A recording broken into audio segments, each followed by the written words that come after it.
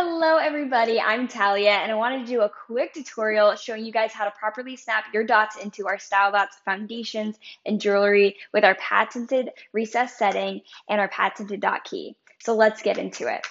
For snapping in a dot, you're going to want to hold your foundation no matter like if it's a statement or an original size. You're going to always want to hold that level like this so that it's just going to be flat.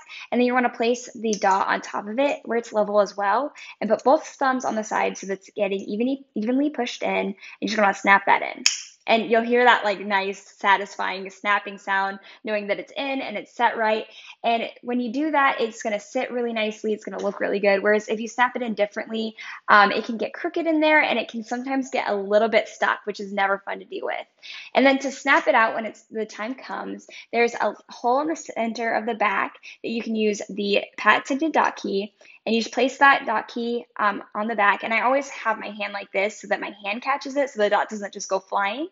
And so you can push on the back and the dot will just come right out into your hands, which makes it so easy.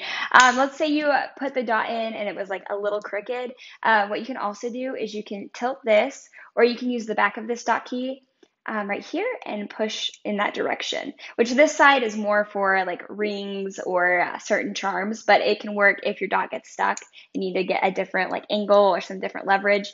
Or if your dot is stuck, you can also put this the foundation into a pillow and push really hard to get it out so that's options if the dot for some reason gets stuck um, a reason that sometimes the dots will get stuck is because the foundation is so new and the recess setting has these little pins that hold the dot in um, and that those can be a little bit tight on a newer one. So if you can loosen those pins before you snap it in, that's always a good option by just grabbing your dot key and in a circular motion putting it here. You never want to force a dot into a new foundation or into a foundation it doesn't want to go in because there's more likelihood of getting stuck. So you definitely want to mess with those pins and make sure they're loose and everything's good when you're snapping it in, as well as making sure your dot is level when you're putting it in.